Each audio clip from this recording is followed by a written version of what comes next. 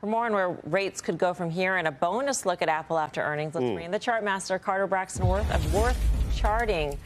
Carter, um, what did we accomplish with this move in rates this week in terms of the long term yeah. trend? Sure. Well, quite a week. I mean, here's the thing. I mean, just speaking quickly about the uh, the strength in the market, it's there's strength that's benign. There's strength that's special. Clearly, this is special. It's an aggressive six plus percent in about six sessions. But is it too aggressive, or said differently, is it impulsive, rash, impetuous, knee jerk? It has that feeling. I think Julie was referring to some of those words in, in a more elegant way. Uh, but you know, uh, as 1 p.m. today, a big, large infrastructure REIT PM said to me, "Recession assured by the S&P," and he was being facetious, of course. But rates. Let's look at some charts. Um, the the the drop in yield from five percent to 4.5, That channel, which is very clear. It's six months in duration. Rates go from 3.5 to 5, and now they've dipped back to the lower band of the channel. Uh, do we stop here? I don't think so. Uh, second chart, there is an unfilled gap. We came back from Labor Day.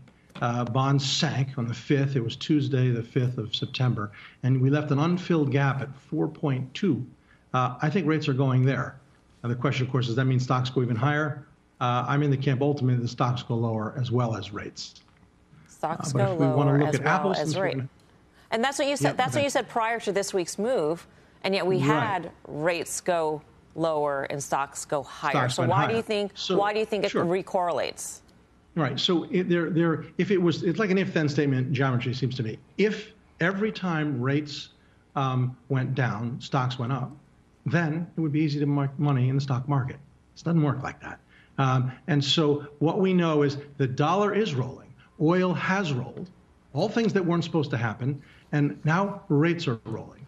And ultimately, I think stocks join the party, uh, but we shall okay. see. 4.2% is where you see the 10-year yield going. Stocks go lower along with it. And how about Apple? Because you, you came on our show, you said sell Apple, which is very unpopular. And then before the earnings dropped yesterday afternoon, you also said sell Apple. You went in there and you, you reiterated that call. Um, where are we now on this? Yeah, it didn't really do much, so I'm not sure that was a valuable call. But uh, let's look at a couple charts. The first are, are, well, it's just there's Apple. It's a pair of twos. It's working its way into these converging trend lines. Uh, does it break out from that formation? Does it break down? It's really what a pair of twos is.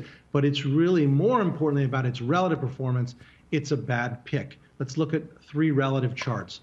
The first, a relative chart is just a ratio chart. It's one thing divided by another, which reveals how the, the, the numerator is doing relative to the denominator. Apple's chart, its relative chart to the tech sector, the XLK you see right there, is terrible. Uh, let's look at it relative to Microsoft. It's terrible. Uh, let's look at it relative to Amazon. Uh, same thing. If those were individual securities, you'd say, well, what is that stock there? It's rolling over. Well, it is rolling over. Apple's relative performance, the market peaked Uh, more than a year ago. It has been a bad pick.